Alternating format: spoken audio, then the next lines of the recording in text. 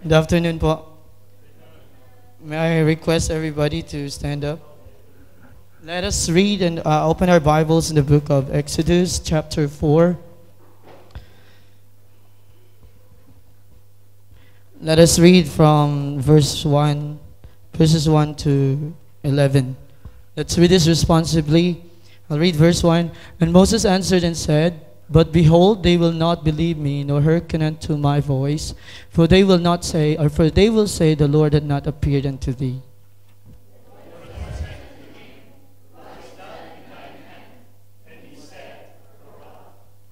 And he said, Cast it on the ground. And he cast it on the ground, and it became a serpent. And Moses fled from before it.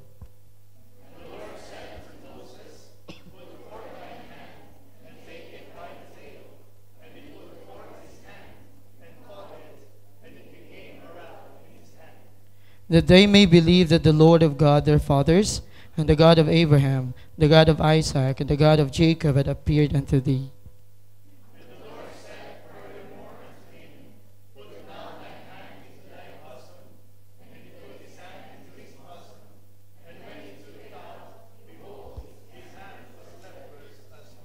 And he said, Put thine hand into thy bosom again. And he put his hand into his bosom and again, and plucked it out of his bosom, and behold, it was turned again as his other flesh.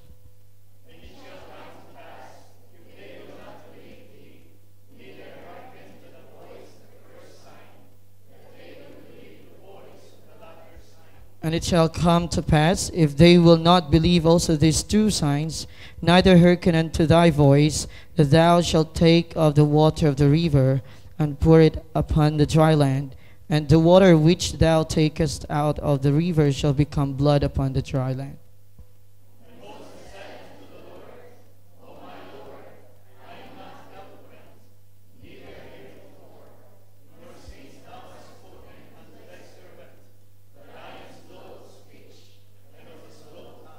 And the Lord said unto him, Who had made man's mouth, or who maketh had who maketh the dumb, or deaf, or the seeing, or the blind?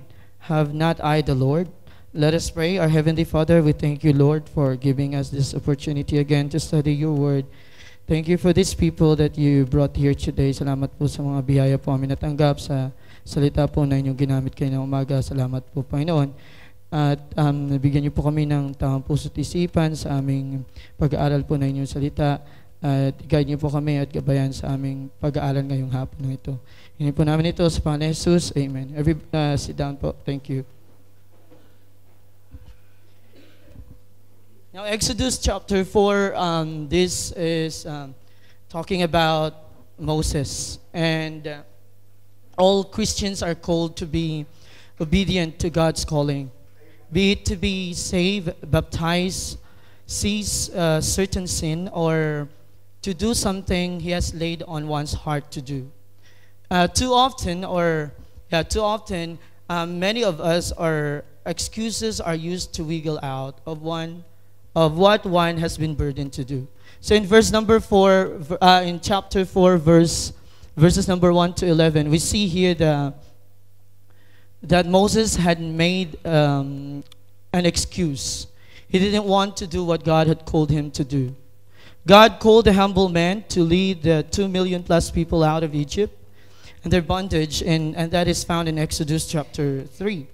Now, here in Exodus chapter 4, we'll see the, that um, Moses, uh, God made miracles to Moses. And we all know the story about it. These are miracles happened to Moses. In verse number 2, and the Lord said unto him, What is that in thine hand? And he said, A rod. And he cast and he said, Cast it on the ground. And he cast it on the ground, and it became a serpent, and Moses fled from before it. The first miracle that happened to Moses was or is the the rod turns to serpent. And in verse number 4, and the Lord said unto Moses, Put forth thine hand and take it by the tail. And he put forth his hand and caught it, and it became a rod in his hand. So in verse number 4, we see here that the, the faith of Moses, when he reached his hand to the serpent, and not only to reach his hand, he, the Bible says take it by the tail. And uh, we all know that the tail is the most dangerous part of the serpent. And yet, Moses was unharmed. So in verse number 5, that they may believe that the Lord God of their fathers and the God of Abraham, the God of Isaac, and the God of Jacob, the God of Jacob had appeared unto thee. This verse, in verse number 5, it shows the purpose why this miracle happened. And uh, this miracle would make the, the children of Israel, Israel realize that God of Abraham, God of Jacob, God of Isaac was with them. And that, that the God of covenant, covenant had not forsaken them. And in verse number 6 to 9, we see here the, the second and the third miracles happen to Moses, which is Moses is made leprous and whole again. And the third one was water turns to, to blood and back again. So it shows here in verse number 6 to 9, Moses did what many of us do when God calls on us to do something for his glory. He hid behind an inadequacy uh, that he thought would prevent him from doing what God required of him.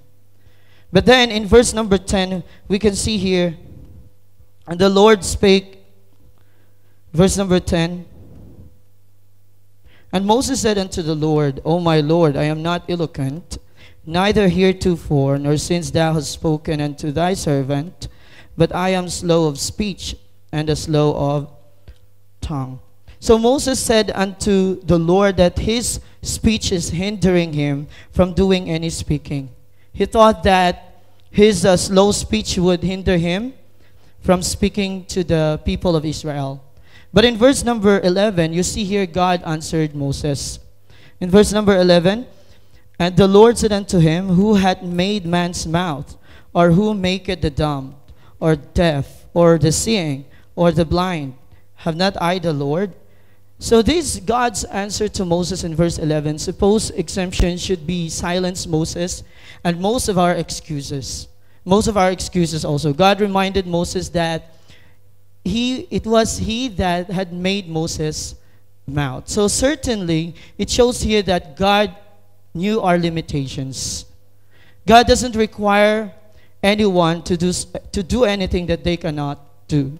If God laid on a person's heart to do something, it can be done. Maybe not on their own, maybe not without God's help, but if God calls a person to do something, he can do it. So, Christians, what are excuses in life? Ang dami po nating excuses sa buhay. Without knowing na uh, nandyan lagi ang Panginoon sa atin. We, we, we, are, we are working not for ourselves. We are working for the Lord. And let me cite some examples here.